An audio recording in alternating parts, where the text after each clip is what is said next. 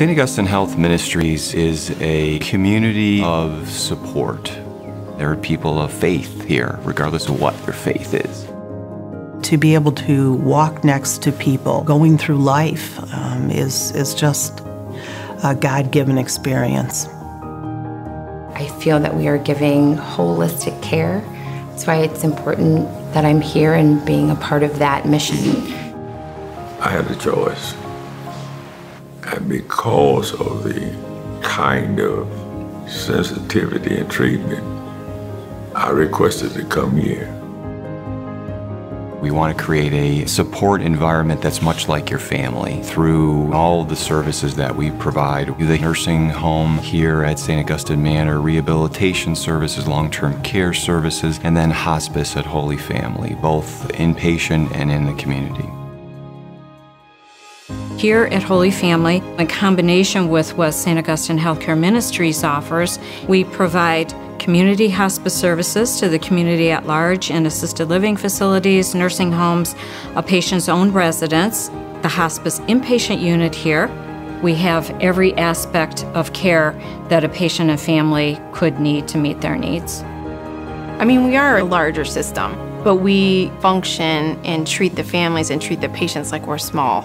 What people want out of our care at all levels is different and we actually listen.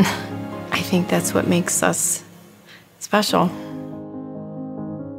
Once they are in our family, if they choose to, they can remain in our family and have continuous care. And we will know that patient extremely well because it'll be the same family taking care of them, and that's very important. St. Augustine has evolved over the years, really being there for whatever need is present. We look at people in a unique individual basis without any qualifications, incorporating people into a family setting that's very purpose driven, support driven, and looks at the unique qualities of the people that we serve, and, and they're unqualified in terms of the way we, we do business. It feels like home, and the people here are just so kind. We are family first, a community second, and we're in the business of living. No matter what, you know, color, where you come from, what your economic status is, you're going to be welcomed with open arms. It does come down to, you know, reaching out your hand to somebody else that needs you and lifting them up. And, and I think that that is practiced on a daily basis here. We try to meet the needs of all the people in the greater Cleveland area. We specifically try to reach the needs of those that are marginalized, those that may be vulnerable in our community, that may not be able to seek care and services elsewhere.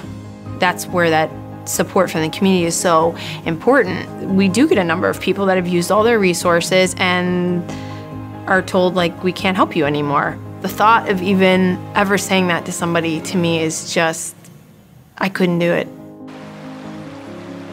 We are always looking for ways to continue our ministry, being where we're needed the most.